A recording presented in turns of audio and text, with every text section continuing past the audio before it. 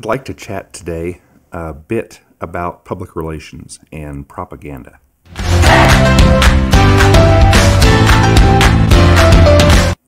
So, public relations or propaganda, I'm going to kind of use those terms interchangeably in this context, basically refers to when we, we put out information that is not objective. Uh, we put it out with a design to get people to believe a certain thing, not necessarily dishonest. It's just has a slant to it, a, a twist, a, a spin. Again, typically propaganda is not a bold faced lie. There's always at least a little bit of truth in it, in my experience. And it's not always a bad thing. When the, the grocery store says we have fresh lettuce, uh, and then they, they put the head of lettuce up there, and the person holding it is a bodybuilder. They're showing this head of lettuce.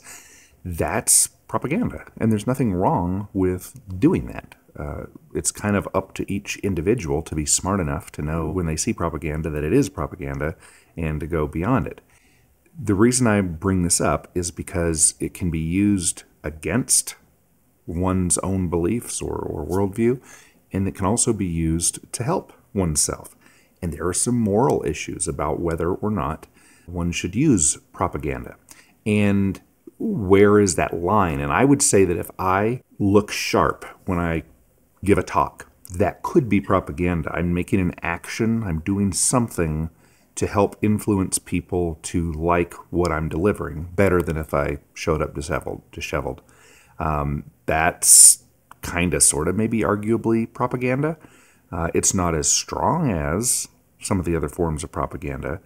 However, I think it's worth examining this moral issue of it. How far are are we willing to go? What is moral? What is not moral? What's what does our community find the ethics to be of this? And I personally think that morality is very important, and I believe that Carl Watner has in his newsletter, The, the Voluntaryist, longest running libertarian publication.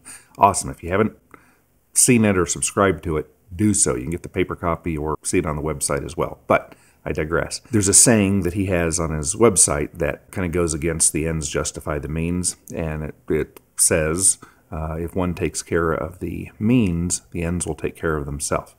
And I think that that's very true. I'm got to tell you, I'm tempted at times to do things that um, go against my my principles in order to achieve a different ends.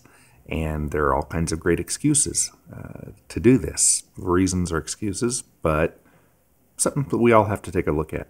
Uh, so I just I encourage you to think about that. Uh, I'm going to have another second part to this little mini propaganda series, uh, at least one more part, and talk about some of uh, the examples that I see in my favorite uh, libertarianish event, Anarchapulco.